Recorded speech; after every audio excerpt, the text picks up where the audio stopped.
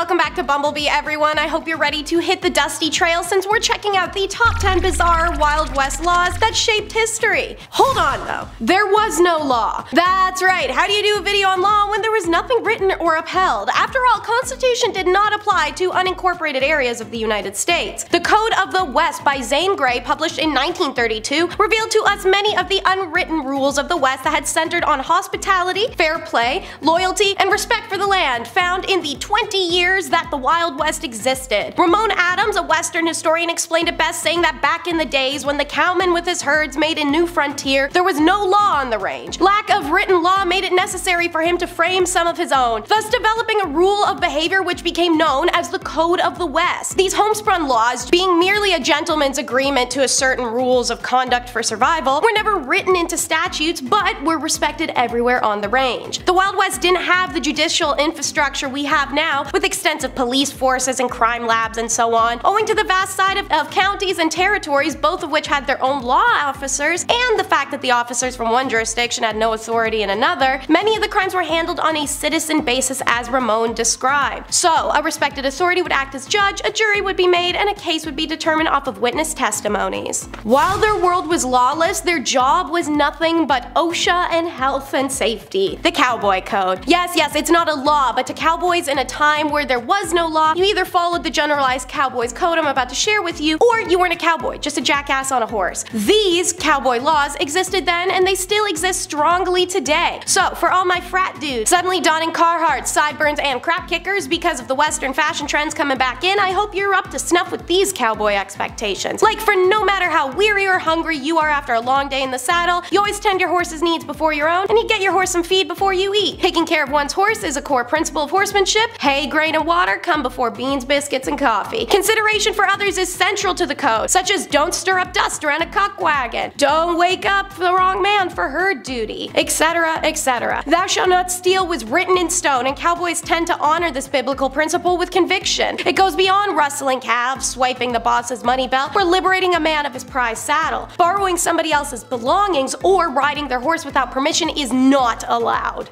Even invading their space is generally viewed as a form of larceny. On ranches where I've worked, nobody used your stuff, said Roland Moore, a veteran Montana cowboy in a 2015 interview. Your stall in the stable was always yours. The cookhouse was a safe place, so much that you could leave your money on the table and it would be there days later. And at dinner, your spot at the table always belonged to you. That's just the way it is. And on the topic of cowboys, how about the horse and cattle hustling, the then and versus now? Back in the 1800s, the report of a Texas Ranger captain on patrol with his company in the Texas Hale County Red came upon four cattle rustlers and four heads of stolen cattle. Final cost to state, six rounds. The penalty for cattle rustling and horse theft was always death if caught red-handed. No need for trial, all that was necessary was to carry out punishment. Vultures and coyotes did the cleanup. Hell, in the cowboy code I just told you guys about, it states that riding another man's horse without permission is nearly as bad as spending a night with his wife. Nowadays, charges for horses or cattle rustling still exist. In April of 2021, the RCMP executed a search warrant on a rural property in central Alberta after an investigation was launched into stolen livestock from the Caroline area. Four stolen calves were located on the property, so the landowner was hit with five counts of theft. Also, I guess he must have been a character from Trailer Park Boys because he happened to have a stolen vehicle, multiple illegal weapons, was under the influence while driving, had a bunch of substance in the vehicle, and 12 catalytic converters. So, police solved a couple other crimes in this trip. And in 2009, Bill SB 1163 was passed by Texas Senate to increase the penalty for cattle theft in Texas to third degree felony to dissuade the excess issue.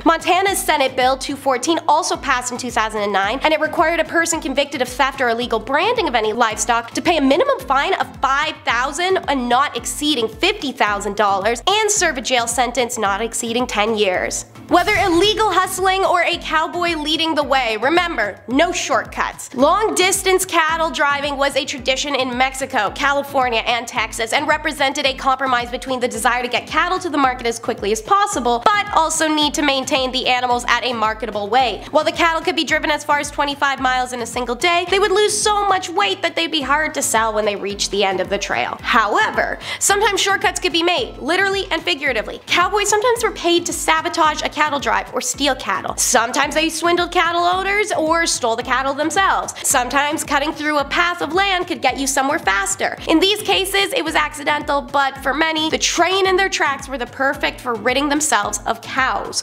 As a result of this behavior, nowadays a modern livestock code in Montana state legislature prohibits driving animals upon a railroad track. If a person willfully drives an animal onto the railroad track with intent to injure the corporation or the persons owning the railroad or animals, and such animal is killed or injured thereby, the person is punished by a fine not exceeding $50,000 or imprisonment in state prison not exceeding 5 years, or both, and they're liable for all injury and damage as caused by this occasion. A break from the animal talk will cover the West and women's suffrage, how a lack of laws in the West made it possible to limit oppressive laws against women in the East and America why. The frontier lands weren't bound by the conventions of the eastern parts of the United States. Past the Continental Divide, people were expected to dispense their own justice within communities. This also meant people were no longer bound by day-to-day -day conventions of life in established towns and cities elsewhere. And by people, I mean women. Well, predominantly white women at least, it's always been the easiest for them. Women could own property, they could work as painted ladies or as madams, but they could also be law enforcement, bounty hunters, and business owners. They could have their own home, they could divorce, or they could cross-dress their way through life, the way that Charlie Parkhurst did.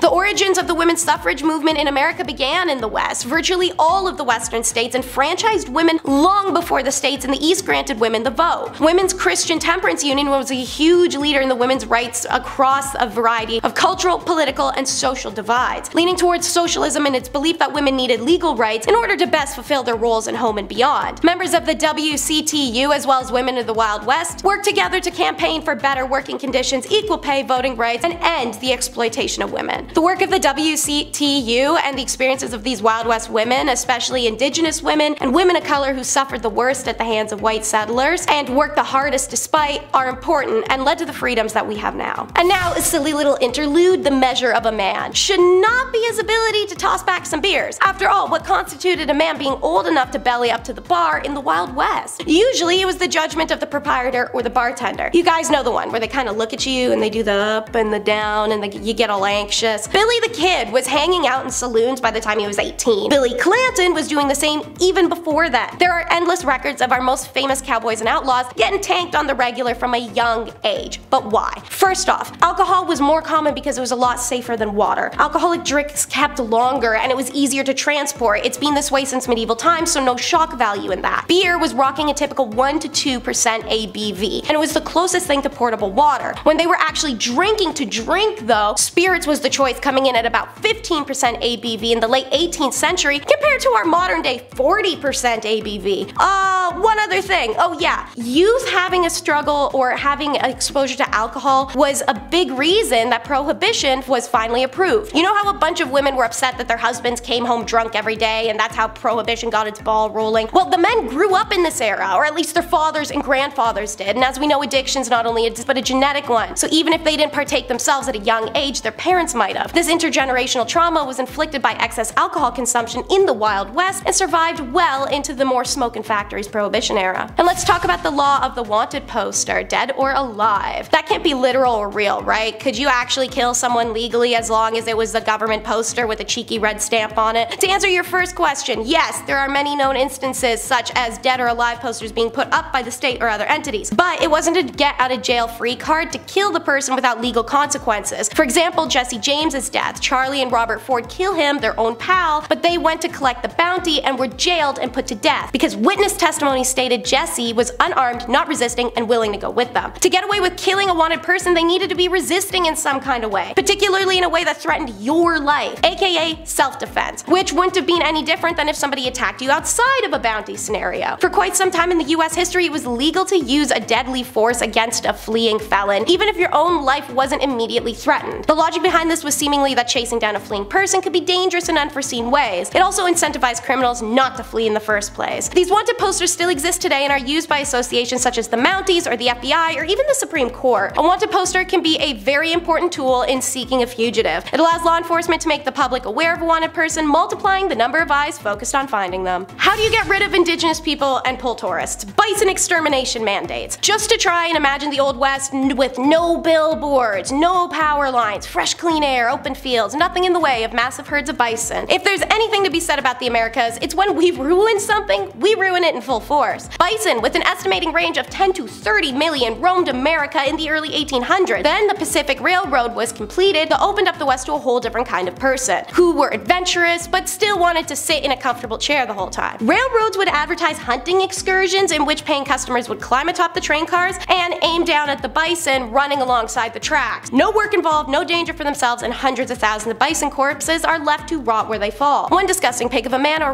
Orlando Brick Bond, is credited with killing thousands himself. But the truth is, most of them were killed by the people commissioned by the United States Army or the Army itself, on their orders to do so. The American buffalo was a primary source of food and hide for indigenous people, and the United States wanted to wipe us out. So, they went after the buffalo in the 1830s, and by the early 1900s, there's less than a thousand left. Kill every buffalo you can. Every buffalo is a dead Indian gone, one colonel said during a hunting expedition. The policy was if you saw a buffalo as a soldier, you were obliged to kill it. And now for how the West brought us the misfortune of botch, rinse, then reform. A death sentence is something most of us won't have to face in our lifetime, if you're lucky or not a terrible person at least. And a botched death sentence occurs when there's a breakdown in protocol. And that involves an unanticipated problems or delays that cause, or at least arguably cause, unnecessary pain for the prisoner or that reflect just gross incompetence of the executioner. It's an estimated that 3% of the US death sentences from 1890 to 2010 are botched,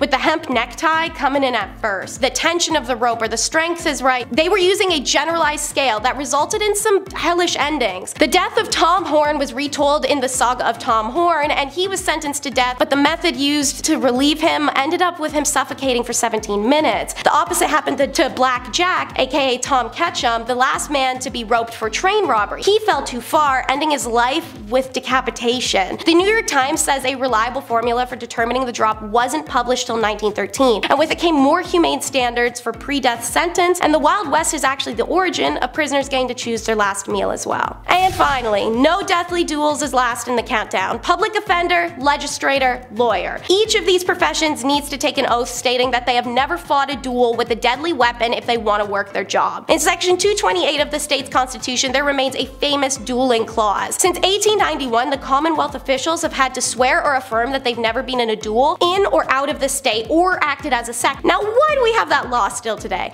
Well, in 1777, a group of Irishmen decided that the various rules and regulation of dueling published in European novels should be brought together in an updated manual, Code Duello. Featuring 26 rules for civilized duels, America won its independence from Great Britain in 1780. The newly reformed United States took a dim view on dueling. George Washington abhorred the practice. Benjamin Franklin said duels constituted as a horrible practice, but that didn't stop anyone. Button Gwinnett, who signed the Declaration of Independence, died in 1777 from a duel, and Alexander Hamilton, one of the founding fathers, died in a duel. By the first decades of the 19th century, dueling increased among the American upper classes. A new, more American version of the Code Duello, written by a Southern Carolina governor, Lyde Wilson, appeared in 1838. Knowledge of the code became part of the fashionable young gentleman's life, and with such history of, of glorification of weapons, it's no wonder that the state's fourth and present constitution retained the seemingly archaic clause against dueling. Kentucky lawmakers felt that an official statement in the Commonwealth's highest legal document banning would-be elected officials from participating in duels would send a powerful message to those who might still resort to violence to settle disputes. Alright, alright, thank you so much for tuning in. I hope you enjoyed and be sure to like and subscribe to see more from us.